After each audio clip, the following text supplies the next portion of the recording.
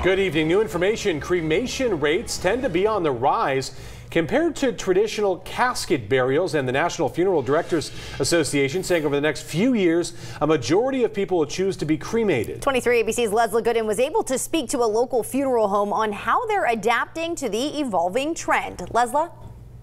Yes, according to the National Funeral Directors Association, they predict by 2030 over 60% of people will choose cremation. Today I was able to speak with Greenlawn Cemetery, who say they em embrace the growing trend of cremation by offering unique and traditional forms of ways for people to remember their loved ones cremation over the past 20 years, according to Greenlawn Cemetery's president, Jim Lamar, are becoming more of a common request than burials with many options. Yes, so if they if they wanted a permanent memorialization, they could be in an ossuary, uh, they could be in a ground burial, they could be in a mausoleum uh, niche, they could be in a glass front niche, or they could be in a fountain niche. Those are all the different options. A niche is a small space in a wall that will hold an urn. Here's a glass front niche at Greenlawn where they allow family members to customize the inside to reflect their loved ones. You know, you could run uh, in some cases under a thousand, uh, averages around 1500.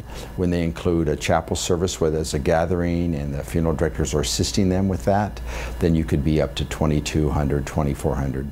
Lamar says urns these days are now designed to blend into household items, such as jewelry boxes and even biodegradable urns. To uh, really embrace cremation, we wanted to think, how can we do so in our cemetery? And one of the things we've done is we've built these hexagon niches. And in one of these hexagon niches, um, if we were to place two urns in each section, which we can, some choose to have only one, but if we were to place two in each section, it could accommodate 120 cremated remains of individuals here.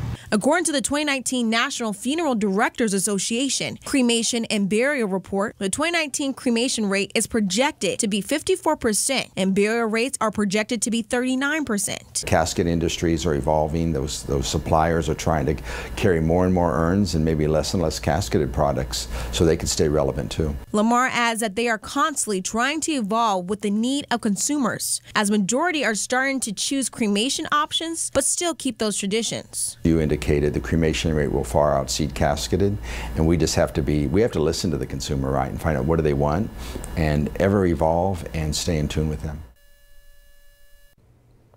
Soon, Greenlawn will be offering a scattering ground for those wishing to spread their loved ones' remains in the area. In studio, Leslie Gooden, 23 ABC News, connecting you.